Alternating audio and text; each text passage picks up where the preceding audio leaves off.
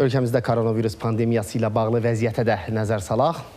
Ölkəmizdə koronavirus infeksiyasında 509 yeni yoluxma faktı qeydə alınıb, 1427 nəfər müalicə olunaraq sağalıb. Nazirlər Kabineti yanında operativ qərargahdan verilən məlumata görə COVID-19 üçün götürülən analiz nümunələri pozitiv çıxan 16 nəfər vəfat edib.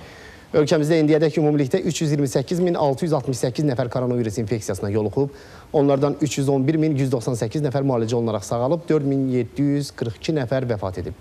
Aktiv xəstə sayı 12728 nəfərdir. COVID-19-a yeni yoluxma hallarının müəyyənləşdirilməsi ilə əlaqədar son sutqa ərzində 7733, hazırki dövrədək isə ümumilikdə 3 milyon 360 min 900 test aparılıb.